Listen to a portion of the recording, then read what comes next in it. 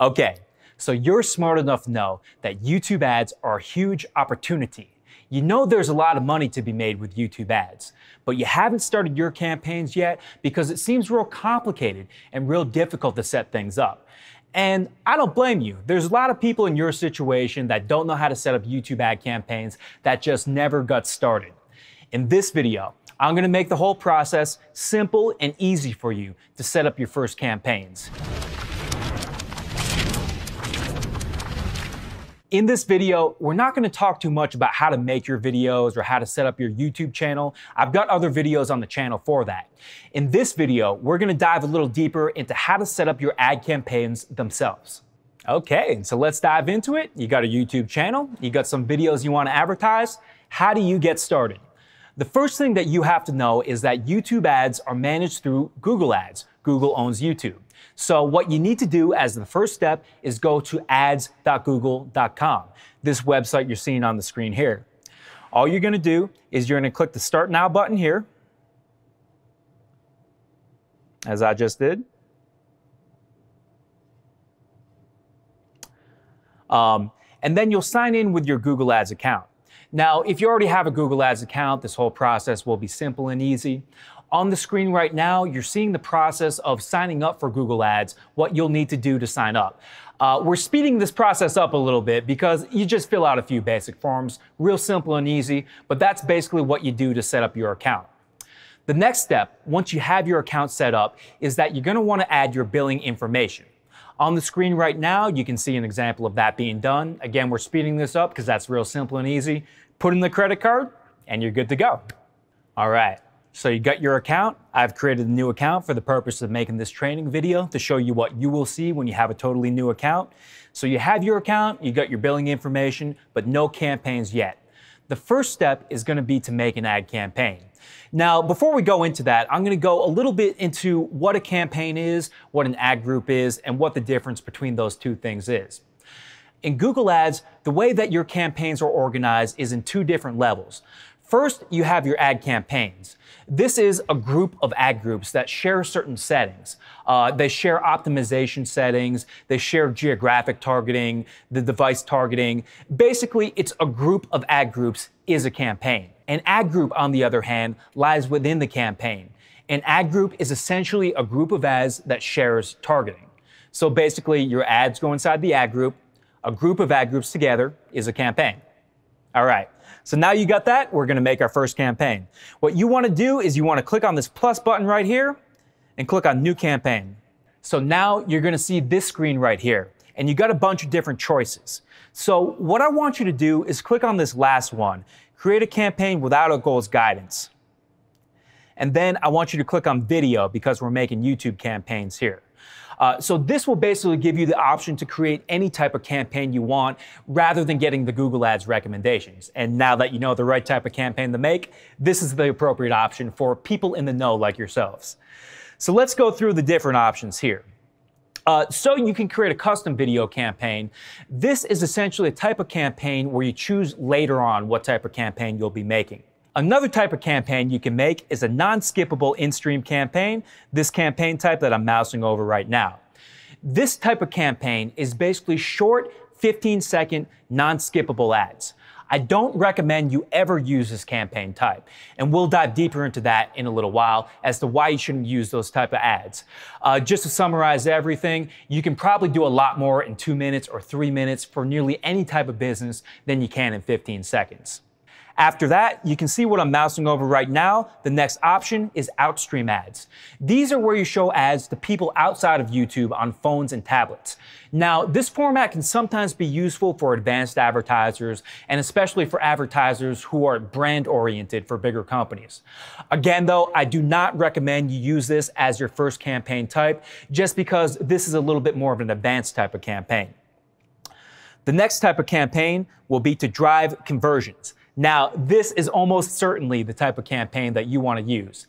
This is what's called a CPA or conversion optimized campaign. Now, the reason why you want to use this campaign type is that this campaign uses Google's learning algorithms to actually go out and optimize your campaigns for you and to find the ideal prospects for your ads. Now, nobody knows exactly how these algorithms work, but they work like crazy. They are very effective and much more effective than other campaign types. If you don't know where to start, chances are this is probably where you should start. Drive conversions. The next option that we have here is ad sequence campaigns. Now, ad sequence campaigns are one of my favorite campaign types. This is basically a type of campaign where it's not optimized for conversions, it's not using those learning algorithms, but they have a different advantage. They show a series of ads in a defined order. So they see the first ad, then the second ad, then the third ad, and they don't see your ads in a random order like they might in most campaigns. Uh, what you need to know for right now, though, is if you're setting up your first campaign, don't choose an ad sequence campaign. This is a more advanced type of campaign, which isn't suitable for your first campaign. Finally, we have a shopping campaign. This is where you promote products from your store using a merchant feed or a data feed where Google dynamically serves the products that it thinks that the prospect is most likely to be interested in. And this can be a very powerful feature too. Now, let's say that you do have an e-commerce store and let's say that you have a hundred different products, but the customer has only visited the product page for one or two of those products. Google knows this, and it will show a call to action for those products specifically. Or let's say that the person has been showing interest in one or two products on a competitor's website. Google knows that too, and it will be likely to show calls to action for similar products on your website. So this is a very powerful type of campaign.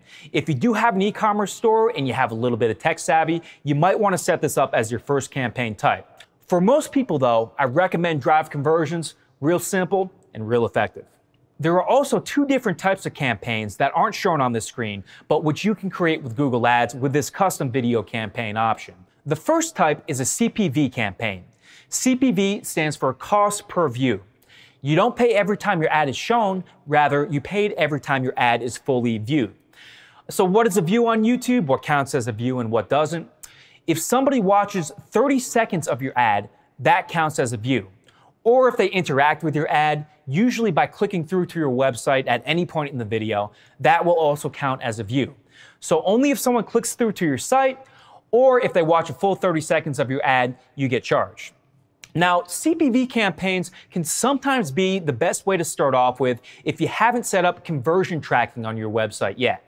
Uh, for those of you guys who don't know, conversion tracking means you put a little piece of code on your website and it tracks when somebody signs up to your email list or signs up for a call or buys one of your products. Conversion tracking is an essential feature for Google Ads. And if you're serious about YouTube ad campaigns, you got to set this up. So I would recommend that you set that up from the beginning if you can't do that. If not, if you just want to get started as fast as possible, you can get started with a CPV campaign. Just select that custom video campaign option, and then you'll get that option for the CPV campaign later on. Now, the last step of ad campaign, which you're not seeing on the screen here, but which you create with this custom video campaign option, is video discovery campaigns. Video discovery campaigns are a campaign type that I personally love. Many advertisers don't use them at all, but I think they have some really good advantages. Video discovery campaigns, when used right, can drive really good ROI. Because most people don't use video discovery campaigns, they're missing out on that opportunity to get that inventory. Now, I think that's a mistake because if, let's say, you have a channel that you advertise on that's very profitable, you could get 50% more or 75% more ad impressions by going into video discovery campaigns. Not only this, but video discovery campaigns are excellent for driving engagement on your channel. By engagement, I mean it's excellent at getting people to subscribe to your channel, excellent at getting people to like, share your videos, and interact in all sorts of ways. Now, that's very important for the long term. That may not make you money tomorrow, but in the long term, it's going to be building your channel, which is a valuable asset that makes all of your advertising work better. The more engaged your channel is, the better your advertising is going to work in the long term. Now, I do not recommend you use video discovery campaigns as your first campaign type. Even though they are better for driving engagement, they're a little bit more complicated to set up.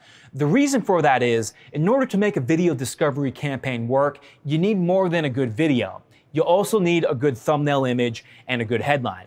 If you're tuning in here, if you're reading my book, I show you how to do that. But it takes a little bit of training to put together a video discovery campaign. So for your first campaign, I recommend that you stick with Drive Conversions. If you don't have conversion tracking set up, get it set up as soon as possible. And for now, you can use a CPV campaign. Okay, so let's say you're smart. You got your conversion tracking set up. So you click on Drive Conversions. This is a new account, so I don't have it set up. But in my real accounts, I do have conversion tracking set up. So if you do have your conversion tracking set up, click on that Drive Conversions options in my real Google Ads accounts, I always have conversion tracking set up, but this is a dummy account with nothing in it, and I haven't set up conversion tracking yet. You can see if you don't have it set up yet, it says that you need to do that before you can create a drive conversions campaign. So for the purposes of just this example here, I'll show you how to set up a CPV campaign. So click on custom video campaign and then click continue. Okay, so now you're gonna see this screen right here where you see all the different options to set up your campaign and I'm going to show you exactly which options that you should choose. The first thing is that you need to give your campaign a name. Now, a lot of people think this doesn't matter because this is something the customer will never see. However, the way that you name your campaigns is eventually going to become very important.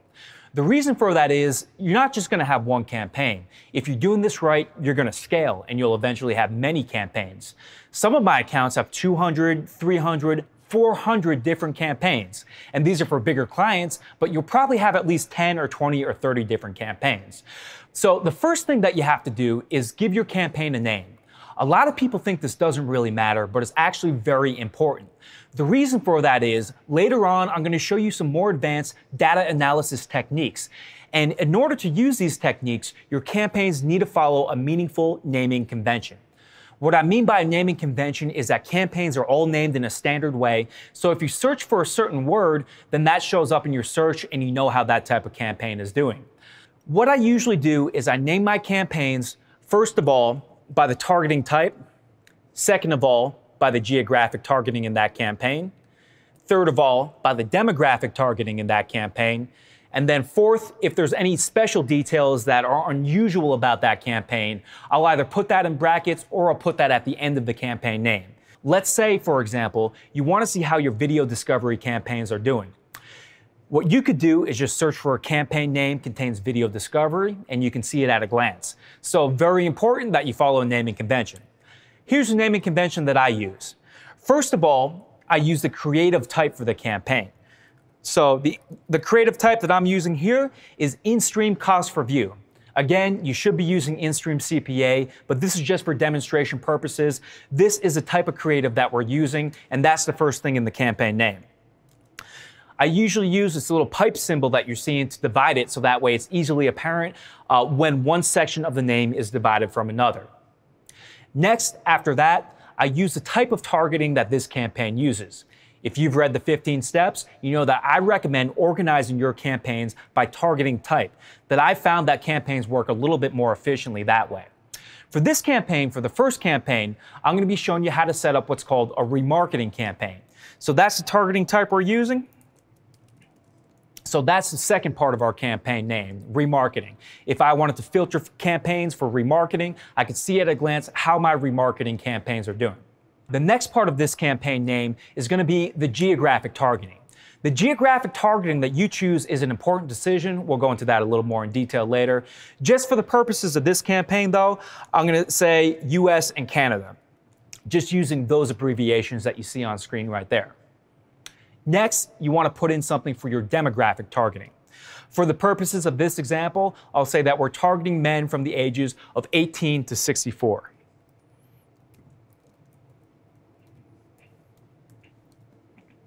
And again, this geographic targeting, this demographic targeting may not be the right specific targeting to use for your business, but this is just an example of how you would name the campaigns with the targeting that you choose.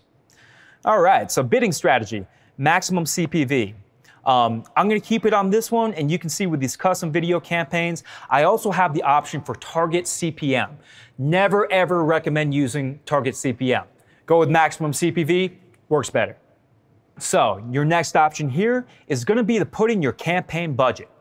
So, when you're first starting off, what you want to do is put in the budget that you're comfortable with testing new things up. You want to put in a, probably a pretty small budget to start off with. Once you get things profitable, then you can scale things up.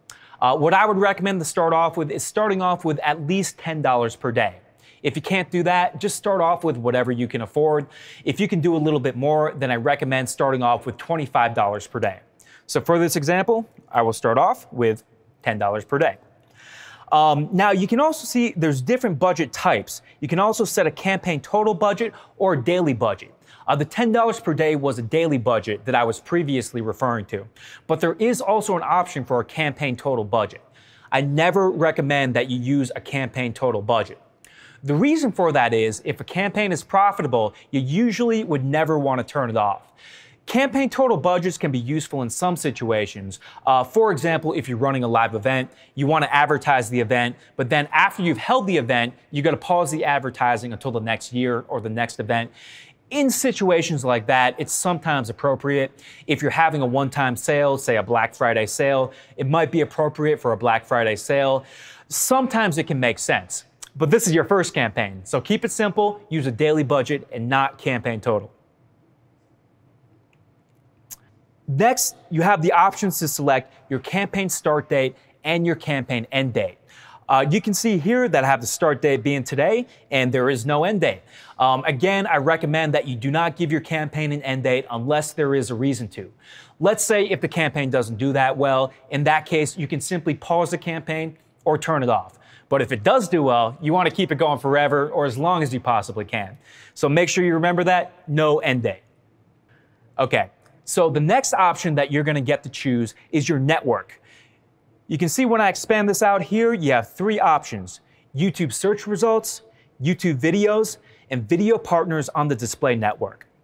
Now, YouTube search results is only applicable to video discovery ads. So for most campaign types, it really doesn't matter whether you select that or not. Just to keep things clear, so I know that this is not running on YouTube search, I'm going to deselect that option like you see here. So you see the remaining two options are YouTube videos and video partners on the display networks. YouTube videos are exactly what it sounds like. Videos on YouTube or embedded YouTube videos on other sites. Video partners on the display network are an advanced option that I recommend that experienced marketers test out. Basically, these are YouTube ads that show on non-YouTube videos. For example, FoxNews.com is one site that typically runs these types of ads. You will see ads just like you do on YouTube on FoxNews.com, and there are many, many other partner sites that run these types of ads. So for your first campaign, I recommend deselecting these options and running on YouTube videos only. The reason for that is that it makes it a little bit more complicated, and usually YouTube itself is a little bit more profitable. Video partners on the display network are good for getting greater scale, but when you're spending 10 or $25 a day, no need for video partners. So I will deselect this option. The next setting that you have to choose is your language. And this can be important. You can see here by default, I'm running ads on videos in all languages. And that's not very good, especially if I was targeting more countries. The reason for that is if your ads are in English or whatever language your ads are in, you want to make sure you're targeting people who are browsing the internet in that language. If you show your ad to a person that doesn't understand the language in your ad, obviously that's a recipe for disaster. So my ads are in English, so I select English.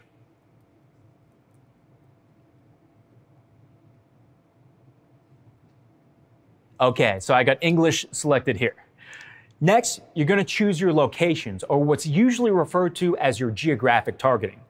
You can see here that it defaults to the country that you're in, in my case, the United States, and I'm going to show you how to use some other location targeting options. So if you just want to target the United States and Canada, very simple to do that. Just select the option that you're seeing on screen right now. If you want to target other locations, you're going to target enter another location. So if I wanted to do it this way, I just type in Canada and I type in United States. There you go. It can be that simple. Now, when you're a little bit more advanced, you can click on this advanced search option that I'm mousing over right now. That's going to give you options to do things like radius targeting, where let's say if you have a store, you could target people in a 20 mile radius around your store's address. Or let's say that you're running a political campaign. You could target a certain congressional district. Or let's say you're an ad agency and you have all kinds of advanced data. You could target people by zip code or by county or all types of different ways. Um, for your first campaign, though, keep it simple. Don't use advanced search. Just type in the location that you want to advertise. All right, so I have selected Canada and the United States. My location targeting is set. The next option that I have to choose is the inventory type. And this is what you see on screen right now. Now, this is kind of a difficult decision because Google does not disclose exactly what each inventory type is. They give you some general guidelines as to what each inventory type is. Um, expanded inventory does not actually include everything. There's some things which are what's called demonetized, or they can't show any ads at all. Uh, for example, if you steal somebody's YouTube video and re-upload it, or if there's copyright issues, usually that won't show any ads. If there's murder happening in the video or some type of horrific violence, if there's um, explicit sexuality, basically, if there's something real fucked up happening, you can't show ads on it at all. So that's not what expanded inventory is. Expanded inventory, though, will show your ads on types of inventory that are a little bit more controversial.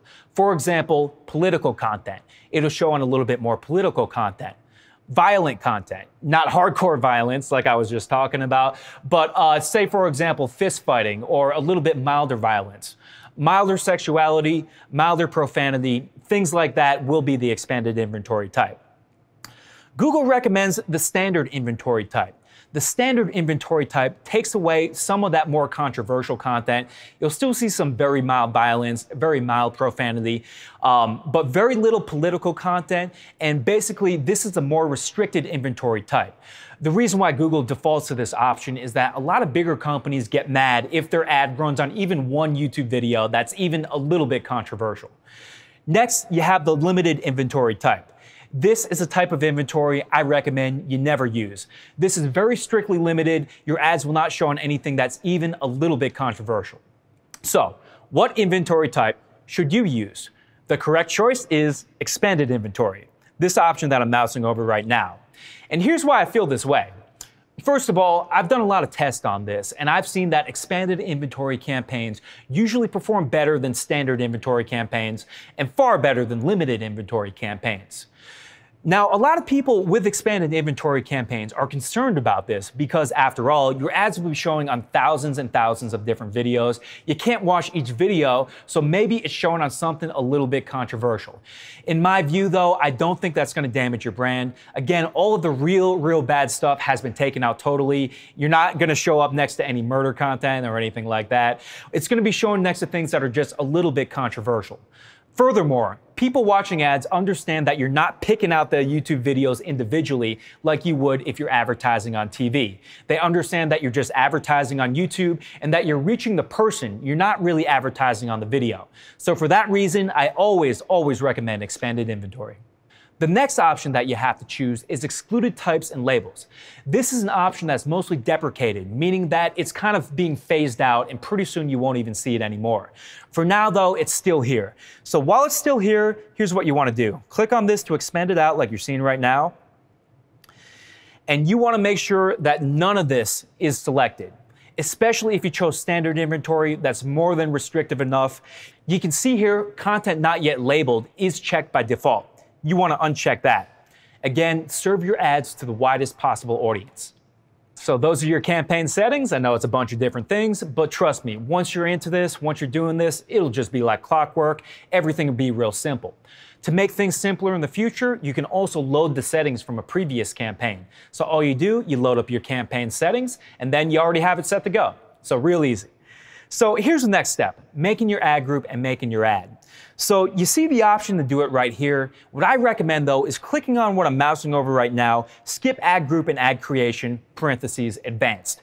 Now, even if you're not advanced, still click on that option because you're about to get advanced from what I'm about to show you. So you can see your campaign won't run until you create your ad group. That's okay because it's a little bit easier and a little bit better to do it the way I'm about to show you. So I double check everything, Canada, United States. My ads are running on English videos, maximum CPV, expanded inventory. I'm all good. So I continue the campaign. All right, so that is your guide to setting up your first YouTube ad campaign. Now, to finish setting up this first campaign, you'll also need to set up your first ad group and some ads within that ad group. And that's exactly what I'm going to show you in part two of this video. Click the link down below in the description to watch part two. That's going to be especially important to watch too because I'm going to run you through all the different Google Ads targeting options. These are really important. It can get kind of complicated if you don't know what you're doing. But in that next video, I show you how to simplify all the targeting options and exactly which targeting options to use in your first campaign. Uh, so make sure to watch part two of the video, which I link to in the description down below. And if you want a complete guide to making YouTube ads work for you, making profits from YouTube campaigns, check out my book, The 15 Steps to Profitable YouTube Marketing. I show you everything you need to know, start to finish, to make money from YouTube ads. The book's got five-star reviews and it sells for $19.95 on Amazon, but on my website, you can get a copy for free. So check out the book now, leave me a comment, like the video if it helped you out, and share it with your friends if it did help you out. So thanks guys, and I'll see you in part two.